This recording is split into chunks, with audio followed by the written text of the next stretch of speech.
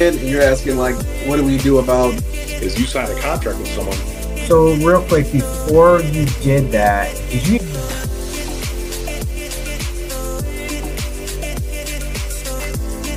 More than 30 years. I got my real estate license in the. Um, and your your origin story. Is that he uh, he made an age joke the last time we were. Uh, I'm gonna I'm gonna use that kuka.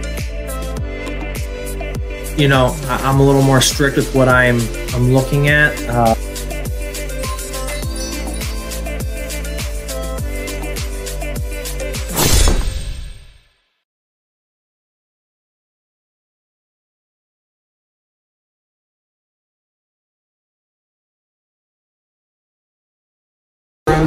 Show of hands, how many people here would consider themselves a real estate investor already?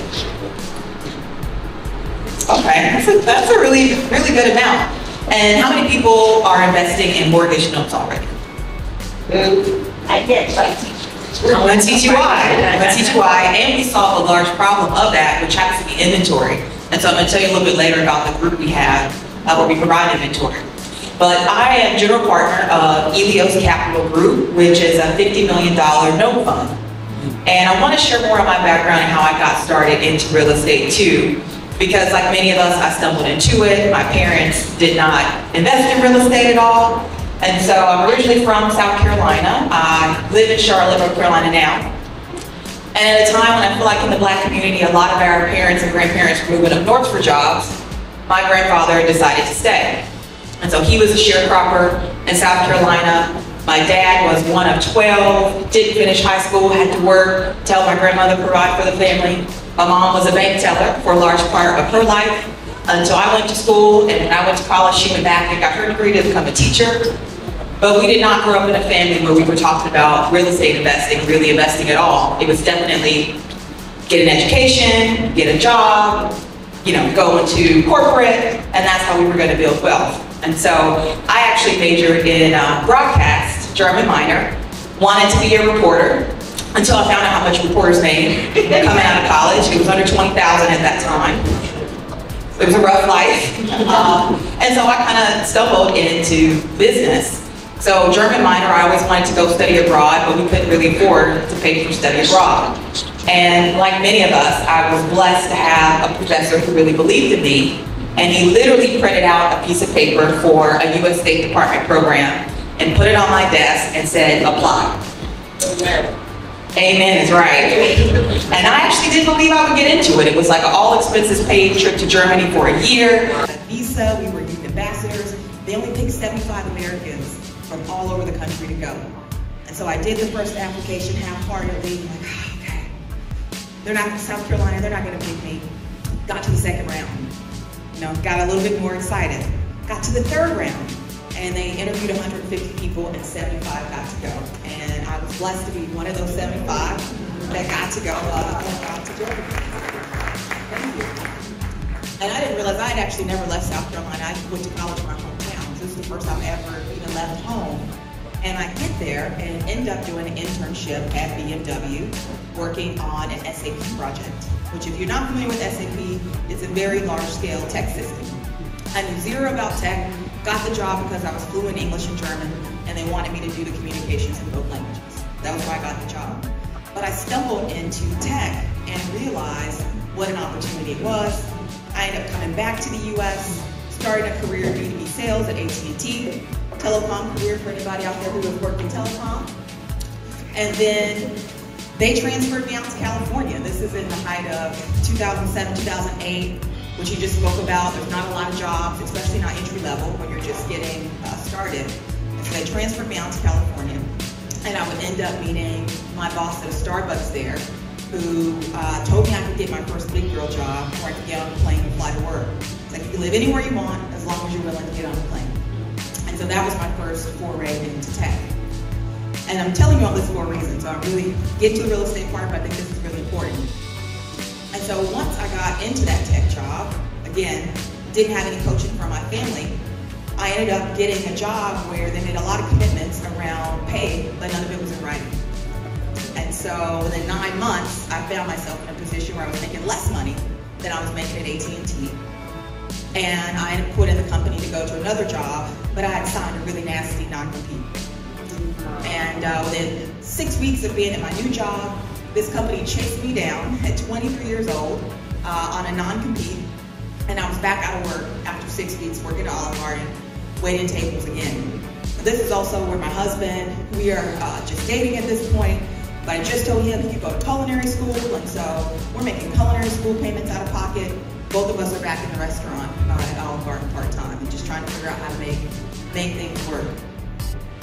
And so the one mentor I met while I was at that tech company ended up going to another tech company and said, hey, I think you get a job here. It's California. They don't care about a non-compete. Come over here. Apply for the job, and you know how you can feel it in your bones when something's for you? I, I was like, this is it. I went in, killed the interview, I did a 30, 60, 90 day plan. They told me this is the best interview you ever I've ever had anybody do. And wouldn't you know that at the end, they declined taking me uh, on the job because they wanted someone that lived in California or Palo Alto. And I had just moved back to Charlotte because my older sister was sick at the time. I needed to be close to family. And so they turned me down purely because they wanted someone to be local in California.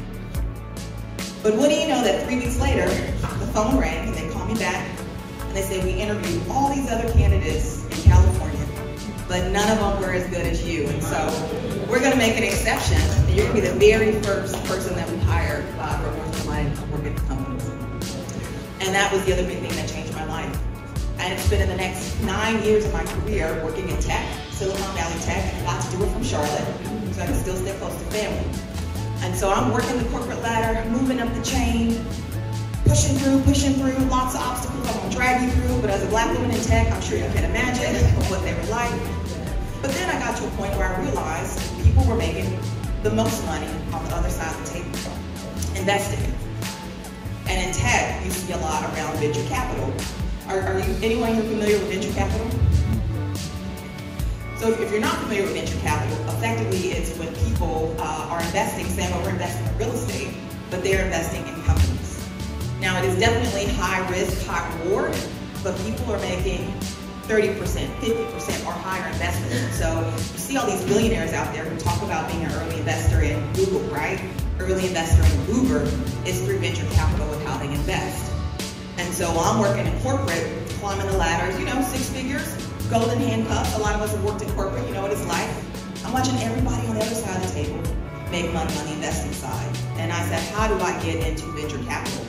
Which is a space that is less than, no joke representation-wise, less than 2% women and minorities combined. And so I managed to break into venture capital uh, and start to sit on the investing side of the table learn how the odds were stacked against us on that side of the table too. Not only were black people and women not getting money to put in their companies, they also weren't getting the opportunity to put their money in deals. And so I'm not going to talk about venture capital too much today, but I did join and help start a group called Cap Table Coalition, which are all black and Latinx investors, where we take up space on cap tables. And so I started writing checks, investing in companies.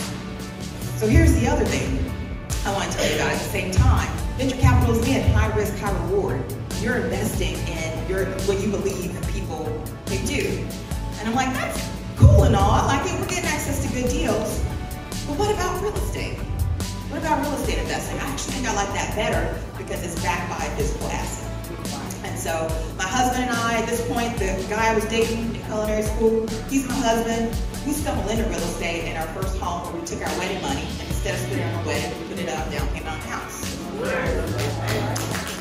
It was by accident, but we did that. We eloped to Vegas, bought our first house, and within three years, it had appreciated over 30%. We then refinanced that house, took the money out, invested in our first investment property.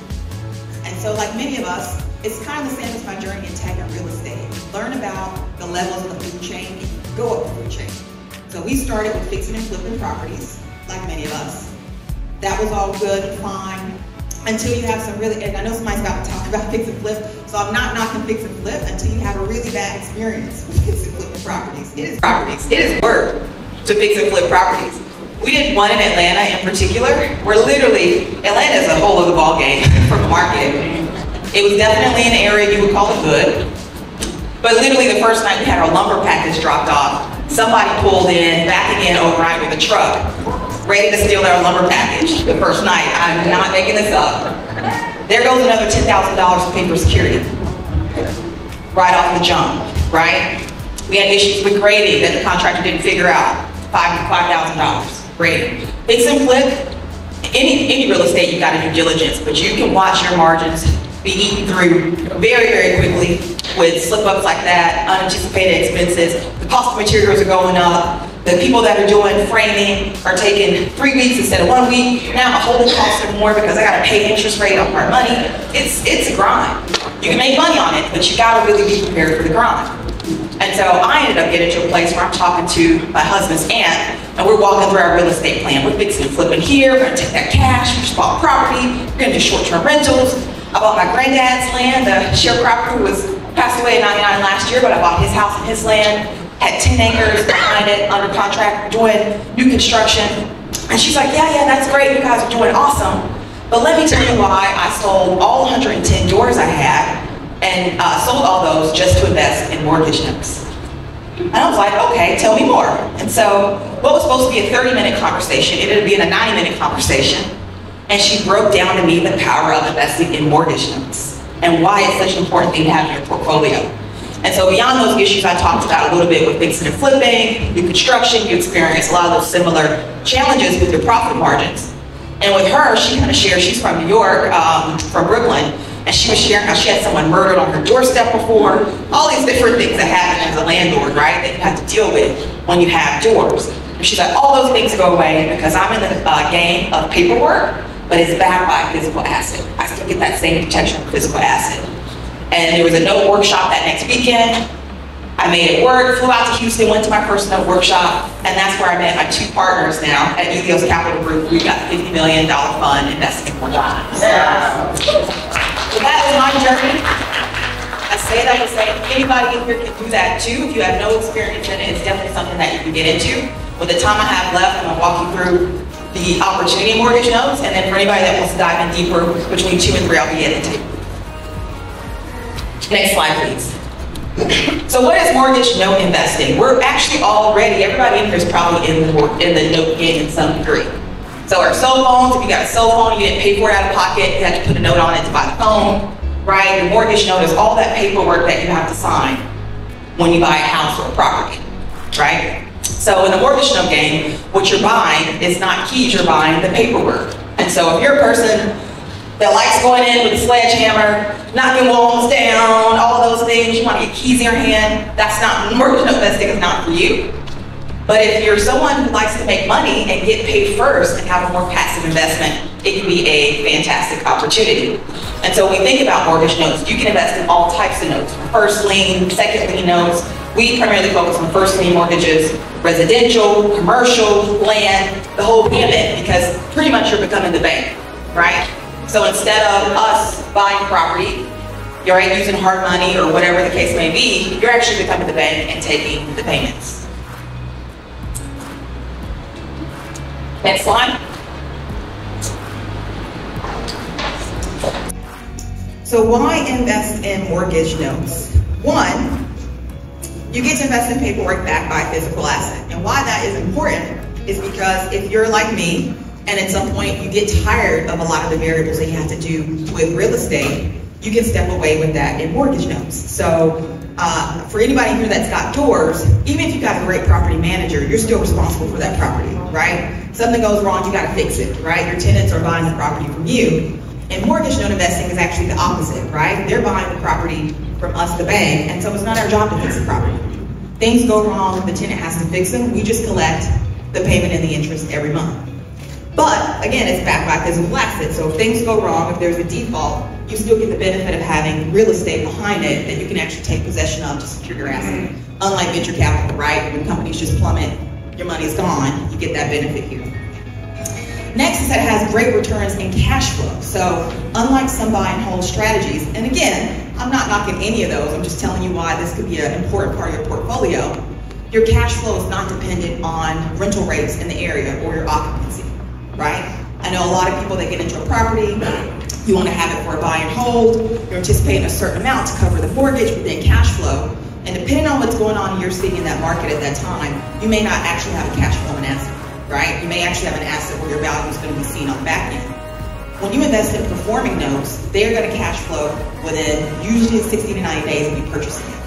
So a performing note just means that the buyers are paying their mortgages on time, and so within a very short time frame, you're already getting your principal back plus your interest right off the gate. They also have great returns on performing notes. We're seeing 11% plus um, on your return strategy, cash over cash year over year. The other one is that it really is can be passive income for, for you, an opportunity to reclaim your time. And a huge part of that is you think about scaling up a large portfolio of yours, scaling up a fix and flip strategy. It is very, very, very, very time consuming. And if you're not spending time there, unless you have a great team, you're losing money. because I'm telling you right now, working with contractors, budgets, you will lose your profit margin on the smallest, smallest things right? Mortgage notes really give you a chance to scale a portfolio very quickly with little time invested, especially if it's performing notes. Because once you actually go through the front end, it's a front end process, I'll talk about it a little bit later. Once you go through that front end due diligence process and buy the note, for the most part, you're just collecting the payment. And we actually recommend put a servicing provider in front of there that helps collect those payments for, for you. So you don't even have to interact with the buyer. But it's a much easier way to scale a portfolio quickly and build truly passive income and then there's multiple exit strategies on notes. So once you're in the community, right, if it's a non-performing note, you can actually exit that property in a lot of ways where you can um, resell the note, you can usually go through an eviction or foreclosure process, take possession of the asset, you can sell it as is, which is what we usually do to a wholesaler or investor. But we have a few people that actually will do the work to bring it up to market value. So they'll go in, flip that property, bring it up to market value, put it on the market and sell it. But there's a whole variety of ways that you can exit, which makes this a very strong investment. Next slide. So let me talk a little bit about the risk, because obviously any investment that you go into has some risk. Uh, the biggest risk is going to be due diligence risk, which is being sloppy on the front end and not going into the paperwork diligently. Um, so if you're going into a mortgage note and you didn't do your homework and you thought you were first lien, but there's a bunch of tax liens on the property or HOA liens, right? those types of things can get you in trouble. Um, if you're not thorough on going through the ownership and getting the original documents, you can get in trouble mostly on the front end with mortgage notes. That's also part of the legal risk, right, is not being thorough on the paperwork. And so a lot of what we focus on is helping people understand how to do that due diligence. Default risk, depends on how you consider this, but if you're buying a performing note and you just want to take payments, someone defaults on the property, you're going to have to go through the process to actually evict or foreclose on the property. Generally, we don't mind that because your returns are much higher when you take possession of the asset. The difference between 11% performing to 30, 40% or greater are non-performing. So we actually enjoy the non-performing notes. So we, our fund is called the Make Money and Go to Heaven Fund, and it's a little cheeky, but it's because we are also very relationship based. So we really do work with our buyers to keep them in the home. We try to figure out different things we can do before foreclosing, etc. But when you have to, you have to, you can't keep people in homes they can't afford, right? And so at some point you may have to take possession of the asset. Prepayment risk with any mortgage, people prepay, you don't get the interest, right, that you anticipate over the life of the loan. Servicing risk, we always recommend working with a servicer similar to a property manager to take your payments. There are laws around the way you communicate with buyers, so you don't want to put yourself in a position to do something illegal with communicating with buyer uh, and then regulatory risk. So COVID was a huge exception, nothing we've ever seen, but obviously you could not foreclose, right, for those two years within COVID, and so a lot of people who were the note game just back in. It doesn't mean you don't get there eventually, but it just took a little bit longer to be able to go through those processes.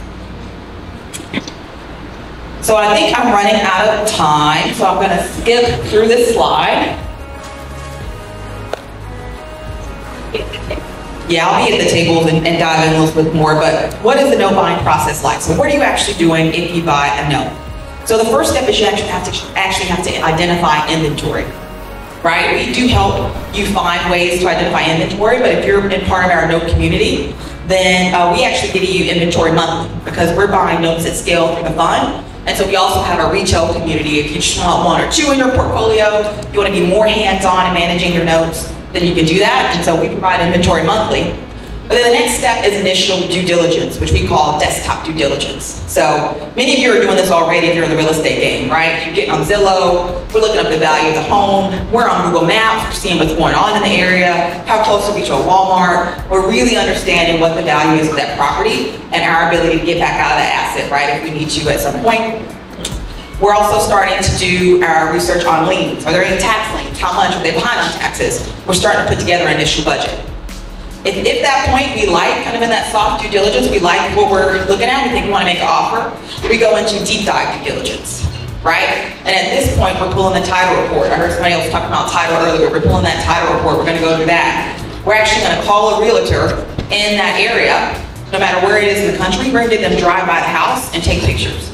Because you don't want to buy a note when you think there's a house on it and it burned down two years ago, and you're actually buying a piece of land with no house, right? You got to be thorough on the due diligence. This is really a due diligence game.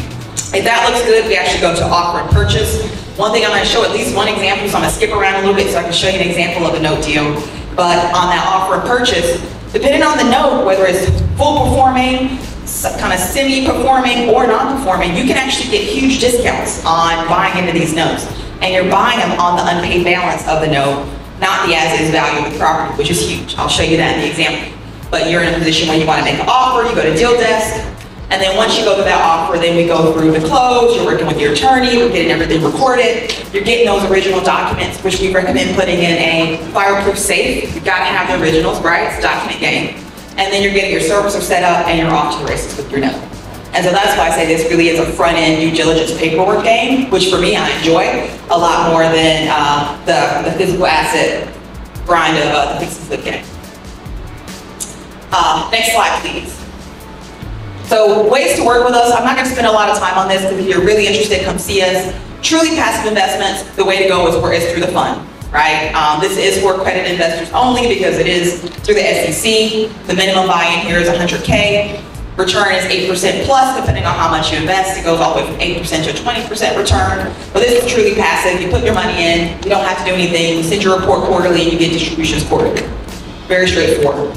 The other three ways that you can work with us are all around note education. Because for us, I think Rick hit on this, we're not going to set you up to fail, right? There are a lot of things I've talked about in here. You've got to be educated on the game and the paperwork to be successful here. And so you cannot get access to inventory with us until you do some education. We're just, we're not going to set you up to fail. And so all of these programs are some version of us teaching you our proprietary due diligence process. We give you access to inventory. You're part of our community. We do different types of education every month. One of my favorites is Scrape the Tape. So if you're not feeling comfortable with due diligence, every Tuesday we all get on a live call. We go through the mortgage tapes together. We do diligence live on the call. You also get access to our exclusive events. And then um, again, the big one is access to inventory because once you're ready to go, everybody knows finding the deal is hard. And so we're going to bring inventory to you for you to go through. All right, this is a performing asset that was in Little Rock, Arkansas. Okay, and the ARV on this was ninety thousand. The unpaid balance fifty-eight thousand. And so the unpaid balance is effectively talking about how much money is left on the mortgage, and that's what we buy on. Don't buy on the asset value or ARV. We buy on unpaid balance. And so in this particular note, every month you bought the note, you're bringing in six hundred dollars, which is a combination of both your principal and interest every month. You can see what the insurance is, and we like to see a down payment buyers because make sure they got skin in the game, right? So you want performing notes, they're invested in keeping up with the mortgage payments on this property. We were able to purchase it at 90% of unpaid balance, so we came into this note for only 53000 This was a passive investment strategy. It's a perfect pay, no late fees, 11 years left, got to discount it. You can literally, at this point, send it to your servicer, get your check every month for $600 and keep going, right? This was 11% return on funds, originated in 2020 and matures in 2023, right? So if you're looking for passive performing notes, this type of note is what you're looking for. But let's take a quick look at a non-performing note, which is where I, I honestly get excited sometimes. Can you, uh, next slide, please? Because you'll see the power of non-performing notes if you're comfortable with some of the risks. So with the non-performing note, this is a property in Texas. It was a mortgage, so the as-is value of this property was 110K. The after repair value, if we had done the work to take to market, was 160K. The reason why the numbers are a little bit different here is because if you buy into a non-performing note, you have to actually keep up that asset, right, while you're going through the process to take possession. So you have to pay the property taxes, you have to keep the insurance going, you're probably gonna have an attorney, but the unpaid balance on this note was only $38,000. And we were all in with a discount on this note, plus the insurance, plus the insurance fees for roughly $40,000, right? What was the strategy? Foreclosure and wholesale it, it's not performing. They were over five years delinquent. The property was completely vacant at that time. And so we began the foreclosure process. We had 8K and HOA liens that had to be released, but acquired in 2019, sold in 2020 for 114K. We were all in for $40,000. You can see the power, right, of these assets um, if you're willing to play the game. I'm not being rushed off yet. I got one more example. Just walk you through one more case study, and then I'm going to pass to my next speaker. So this one I didn't actually have a picture of the house. This is of our partners deals. That's like we're going to show you this. I'm going to show you an example of different types of paperwork. And so this was, is what's called a lease service option, where people might lease the property. You don't have the kind of paperwork, so it's not all just mortgages. But a lease service option, they're actually paying to lease the property, and then a certain period of time, let's say five years, they get an option to buy the. And so on this particular property, uh, the tenant had paid the lease in two years, so they were behind, and the option to buy the property had expired. Right? We had holding this for 13 months. Total expenses in was 63000 We made over uh, $111,000. I say we, she's my partner we combined together. But what happened is once that lease service option expires, right, they had paid the lease in two years, the tenants actually wanted to get back on, on the property, get current, but they ended up having to put a new mortgage and note on the property. So we, which is sometimes better for them anyway, it's better paperwork, we put their name on the deed, and so again, we do a lot to take care of our tenants. When they came back to that property, the new note was at the new price, not the lease price from five years ago when they bought it. And so again, coming into this with sixty-three thousand dollars and making a profit of 111, uh, 111,000, that's a 171% profit so hopefully, I'm probably a little over, but you can see why I get really excited about bringing this asset class to you. Um, would love to talk a little bit more. Next slide's got my info on it. We can go one more for people that might get in touch. Um, so if you're interested in any information about the fund, email me, rick at ezioscapitalgroup.com. And then also if you're interested in the uh, mortgage notes kind of education, you just want to build your own portfolio, you can go to learnaboutnotes.com. We are replatforming our online course that's going to launch again on June 10th, but there's a sign up there if you want to drop your name in and be uh, notified. And if you're interested in any of the hands-on training, etc., you can send me an email and we will set up time to talk. I hope that was helpful. Did you learn something? Show of hands.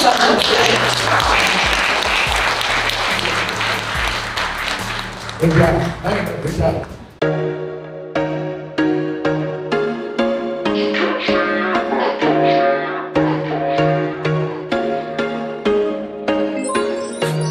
Once a day that I would pray for you. I'd go and misbehave just so you'd notice too. Sneaking looks up and down from across the room